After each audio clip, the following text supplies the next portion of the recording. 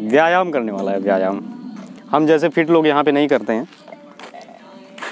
ये जो डायबिटीज़ के पेशेंट हों और सारे हों, मोटे तगड़े लोग हों, उन लोग के लिए ये है। और हम लोग के लिए नहीं है। हम लोग यहाँ पे करेंगे तो अभी जितना बना हुआ है, वो सब सूख जाएगा और सिर्फ़ हड्डी बचेगा हम लोग के अंदर। अभी सारे चीज़ों को मैं दिखाता हूँ। अभी नीचे उतरने के बाद भी लग रहा है जैसे मैं घूम रहा हूँ इधर उधर नमस्कार दोस्तों, स्वागत है आप सभी का मेरे YouTube चैनल में। आज हम लोग गोरखपुर के सबसे फ़ेमस जगह रामगढ़ ताल के नाम से पहले जाना जाता था और आज अभी ये नौका विहार के नाम से फ़ेमस हो गया है। और पहले जैसे कि आप देख सकते हैं कि पहले ये बहुत गंदा था तो अभी कुछ दिन पहले हमारे मुख्यमंत्री योगी जी आकर के इसका इनोवेशन कराए हैं और ये तब से बहुत अच्छा हो गया है और एक तरह से टूरिस्ट प्लेस बन गया है। आज मैं आप सभी को इसका पूरा टूर कराऊँगा, पूरा शेयर कराऊँगा। अंदर जो जो चीज़ है, जो बहुत बढ़िया बढ़िया जो भी चीज़ होगा, मैं आपको वो सब दिखाऊँगा। तो चलिए, दिखाते हैं आपको।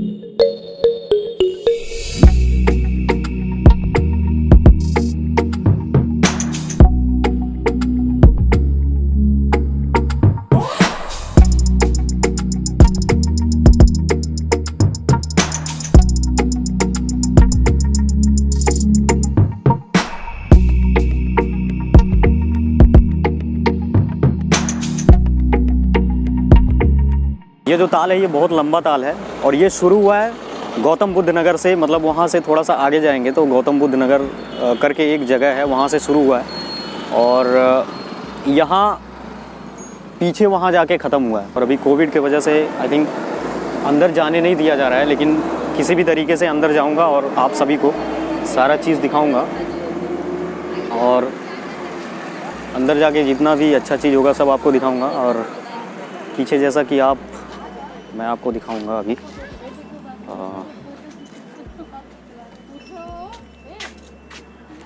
पीछे का वहाँ का सारा चीज़ जो बना हुआ है, वहाँ पे जाके आप लोग को दिखाऊँगा अगर अच्छा होगा तो। बहुत सारी चीज़ें हैं यहाँ पे। और इसका जो गेट है वो, गेट आप देख सकते हैं यहाँ पे, ये गेट बना हुआ है इसका। अभी कोरोना की वजह से आई थिंक पुलिस लोग यहाँ पे बैठे हुए हैं और अंदर जाना प्रोहिबिटेड है। अंदर नहीं जाने दिया जा रहा है, लेकिन किसी भी तरीके से अभी इसका कुछ खोज निकलेगा अभी, मैं दिखाऊँगा अभी अंदर जाके। वहाँ से किसी चाचा से पूछूँगा इसका जो खुफिया रास्ता है, खुफिया रास्ता से जाऊँगा अंदर और आप सबको सारी चीज़ें दिखाऊँगा। बगल में महंत दिग्विजयनाथ पार्क करके एक पार्क बना हुआ है, वो बहुत बड़ा पार्क है और इसके बगल में एक वाटर पार्क है।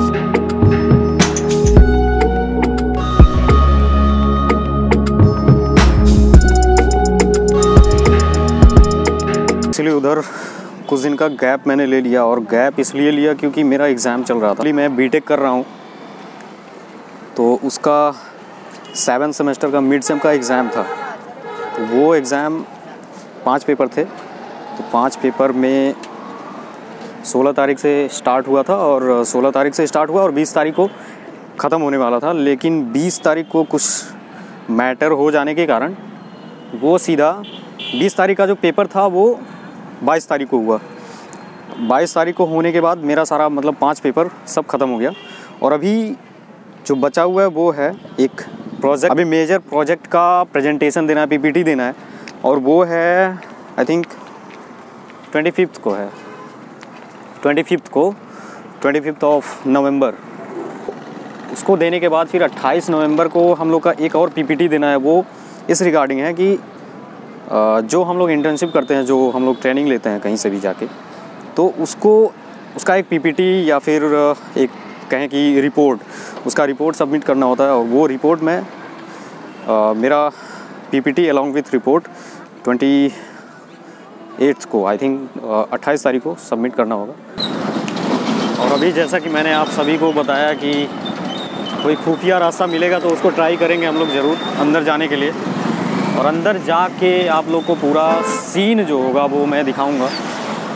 और जैसा कि मैंने आप सभी से बोला है कि अंदर जाके मैं आप लोग को दिखा के ही मानूँगा तो उसको मैं दिखाऊँगा और इसीलिए उधर हम लोग बढ़ चुके हैं अभी। एक भैया थे, उनसे हम लोगों ने पूछा तो उन्होंने बताया कि यहाँ से जो मेन गेट है, वहाँ से तो नहीं जा सकते, लेकिन एक खुफिया रास्ता है पीछे से कोई, वहाँ से हम लोग जा सकते हैं। तो वो उसको ट्राई करते हैं, देखते हैं, अगर अंदर जाने मिलेगा तो बहुत अच्छा है।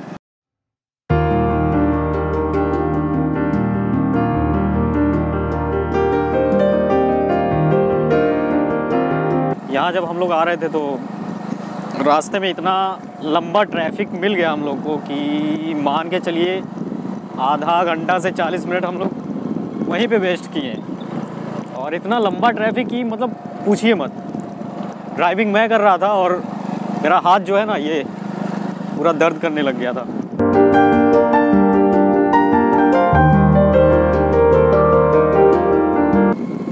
यही है अंदर का खुफिया रास्ता। चाचा जी बता रहे थे, वो खुफिया रास्ता हम लोग को मिल गया और अंदर आ चुके हैं हम लोग। और अभी अंदर जाके बैठ के सारा चीज़ दिखाऊँगा मैं आप लोग को। और मुझे लग रहा है कि अंदर कूद के जाना पड़ेगा, क्योंकि उधर कोई रास्ता दिख नहीं रहा है। अभी सारे चीज़ों को किया जाएगा कूद के जाना पड़ेगा, कैसे भी जाना पड़े, सब किया जाएगा यहाँ पे।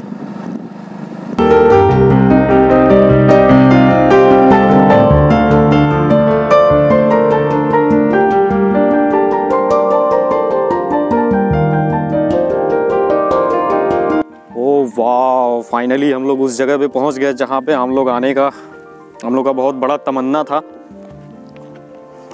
और अभी पूरा नीचे जाके आप लोग को दिखाऊँगा कितना अच्छा ताल है ये ताल ताल। छोटा मोटा ताल नहीं है, बहुत बड़ा ताल है। और बहुत, यहाँ पे बहुत संभाल के चलना पड़ रहा है। नहीं तो अगर थोड़ा सा भी डिसबैलेंस हुआ ना तो सीधा अंदर। और अब यहाँ से मैं आपको दिखाऊँगा। कितना बड़ा ताल है इसका। वहाँ से देख सकते हैं, वो जो इसका एंडिंग जो है, वहाँ है। इसका एंडिंग वहाँ पे है और देख सकते हैं, किनारा जो है बहुत दूर तक है ये। इसको ताल बोलना बहुत गलत होगा क्योंकि ये मोर देन ताल है।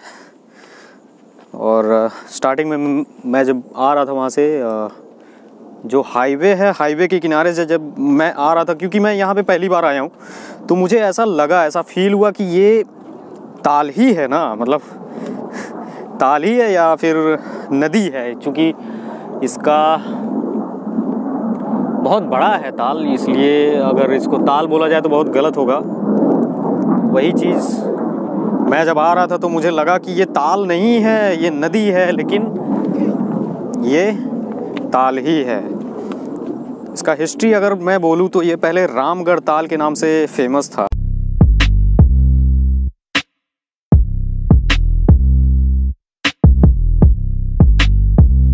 अभी यहाँ से यहाँ से अंदर जाऊँगा और अंदर जा कर के मैं आपको, यहाँ का जो सारा चीज़ है वो मैं आपको दिखाऊँगा। देख सकते हैं कितना अच्छा टूरिस्ट प्लेस है। यहाँ पे बैठने लायक बहुत अच्छा। है। हम लोग तो ये सोच लिए थे कि हम लोग को आने नहीं मिलेगा यहाँ पे अंदर। लेकिन किसी तरह से आगे बढ़े, भगवान का नाम लेके, और आने मिल गया। अब यहाँ से बहुत अच्छा दिखेगा। वो मैं आप लोग को दिखाऊँगा बहुत अच्छे से। मुझे लगा था कि यहाँ पे आने नहीं मिलेगा, लेकिन भगवान का नाम लेके हम लोग एंटर किए और आखिरकार हम लोग को अंदर एंट्री मिल ही गई। तरीका गलत है अंदर आने का, लेकिन ठीक ही है, जैसा भी है।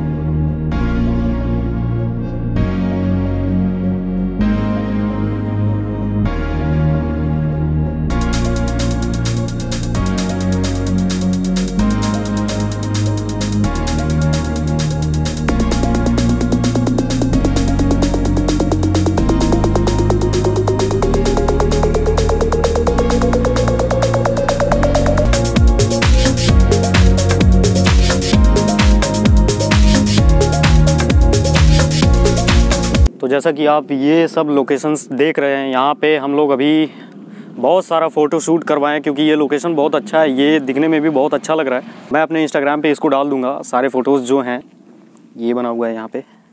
और ये सब देख सकते हैं आप पीछे, सारा नज़ारा जो यहाँ का है, बहुत अच्छा नज़ारा है। और इसी नज़ारे के लिए हम लोग तरस रहे थे, चार पाँच महीने से, कि यहाँ पे आने मिल जाए और मेन गेट पे जैसा सिचुएशन था, जैसा सीन था वहाँ का, उसको देख के लग नहीं रहा था कि हम लोग अंदर आ पाएँगे, लेकिन आ गए अंदर, भगवान का नाम लेके, और अंदर आ गए और अंदर हम लोग सारे चीज़ों को मैं कवर करके दिखा रहा हूँ। ये पीछे का सारा चीज़ है। देख सकते हैं आप लोग। आखिरकार खुफिया रास्ता हम लोग का बहुत काम आया। यही है रामगढ़ ताल और आजकल का नौका विहार। नौका विहार इन द सेंस इसका, नौका विहार अगर इसका मीनिंग निकाला जाए तो नौका विहार, नौका मीन्स होता है नाव।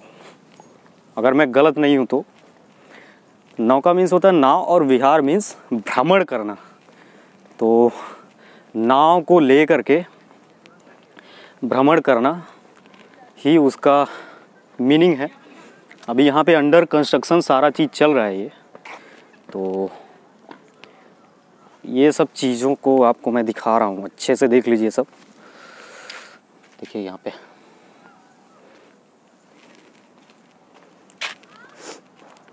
ये जो कॉलम है ये ये कॉलम इन कॉलमों पर अशोक स्तंभ रखा जा रहा है। जैसा कि आप देख सकते हैं यहाँ पे अशोक स्तंभ। लगा हुआ है। तो ये चीज़ है। अरे, बहुत बड़ी मछली वहाँ पे अभी एक छलांग लगाई है और बहुत बड़ी बड़ी मछलियाँ होंगी यहाँ पे। तो इसके बाद मैं प्लान बनाऊँगा गोरखनाथ मंदिर जाने का और गोरखनाथ मंदिर जा करके वहाँ का भी मैं एक व्लॉग तैयार करूँगा।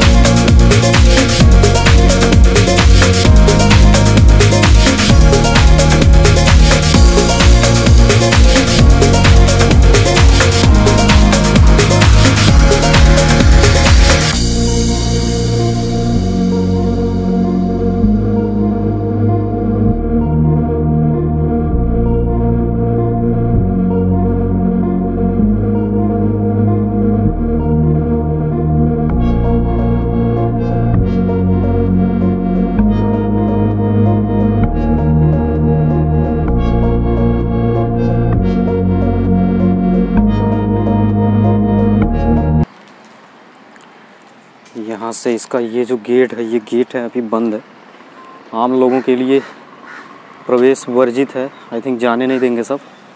अभी बंद है ये। नहीं तो वहाँ पे अंदर जाके मैं आप लोग को दिखाता कितना अच्छा लगता है वहाँ पे जाके।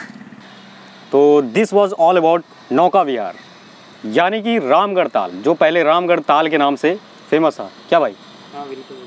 भाई थोड़ा तेज बोलना यार। आई होप कि ये वीडियो आपको पसंद आई हो और अगर पसंद आई है तो जो नीचे का लाइक का जो बटन है उसके साथ रामगढ़ ताल खेलिए या फिर नौका विहार खेलिए।